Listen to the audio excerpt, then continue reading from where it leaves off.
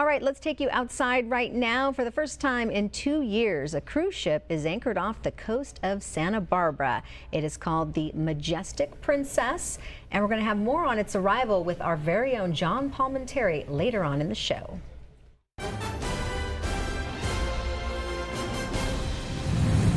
All right, let's turn things over to Anna Gavitt now in the First Alert Weather Center. And all those people coming off the ship today going to get some nice weather in Santa Barbara. Yeah, they really are. And if you do want to take another look at this ship, this is our view from our Yacht Club camera, which is a little shaky at the moment because of all the wind we're seeing on the south coast. So definitely that wind sticking around through a good portion of our day, but it's giving nice warm temperatures for not just our visitors, everyone who lives here too. Right now, temperatures for the interior in the 50s, south coast 60s to low 70s at the moment, still seeing 60s 60s though across the central coast. So a lot of these areas, at least in the southern portion, are definitely warmer from this time yesterday. This gap is going to close a little bit as we get to our high temperatures in the afternoon, which are also looking good, mainly upper 60s to mid 70s, even some low 80s in our most wind prone areas. So more on that coming up in my full weather forecast.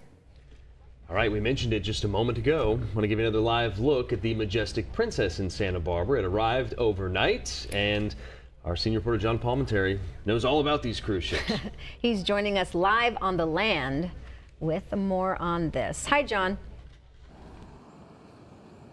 Yeah, we just uh, are just enjoying the sun and the beauty and a little bit of the breeze that you guys are talking about today as the Majestic Princess arrived just before dawn this morning in the waters off of Santa Barbara. And for many people, they couldn't believe it. It's the first time in two years that we've had a cruise ship here due to the COVID pandemic. And, you know, it was really cruise ships, wasn't it, when we started learning a lot about uh, the coronavirus.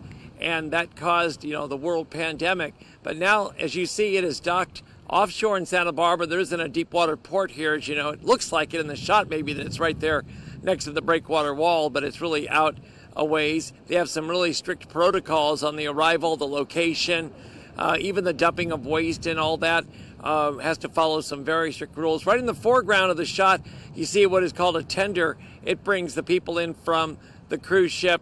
Uh, there's several of those going back and forth, and they drop them off at the new Santa Barbara Landing, formerly Sea Landing, and then they come ashore. As we took, take a look to the right here, and they have some pop-up tents, Homeland Security, Santa Barbara Police Department, uh, other representatives of the waterfront are here too. The Tourism and Visitor Center down there with all kinds of brochures and maps. Some people here are walking with their maps. And earlier today, there were tour buses and uh, some other ground transportation. There's some signs there to the right for excursions, and people line up whether they go to the Old Mission and Historical Tour, to the Montecito uh, Historical Tour, to the Solvang Tour, and other locations and then they come back here and the cruise ship will leave later on tonight. There will be 17 cruise ships in the spring. They'll take a break for the summer, more coming in the fall. I believe about 30 for the year.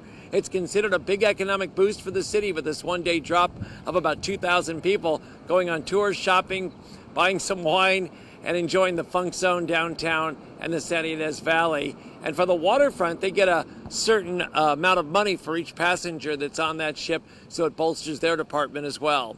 Santa Barbara's back on the cruise ship schedule this morning with the Majestic Princess, and they're on for the spring. Reporting live along the waterfront this morning, I'm News Channel reporter John Palminteri.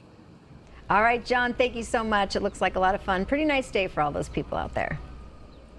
All right, still ahead on midday. She's a local chef who's been in Poland helping to feed refugees.